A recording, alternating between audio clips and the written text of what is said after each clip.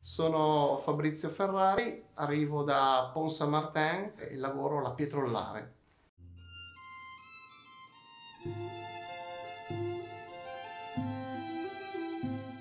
Diciamo che ho voluto creare, un, ho voluto cercare una pietra un po' particolare, con un fondo magari un po' più duro e una parte morbida sopra, dove da lì io dalla parte morbida ho ricreato tutta la parte più difficile, cioè magari i due grappoli e le due foglie che abbracciano come un mantello questa, questa, questa bottiglia.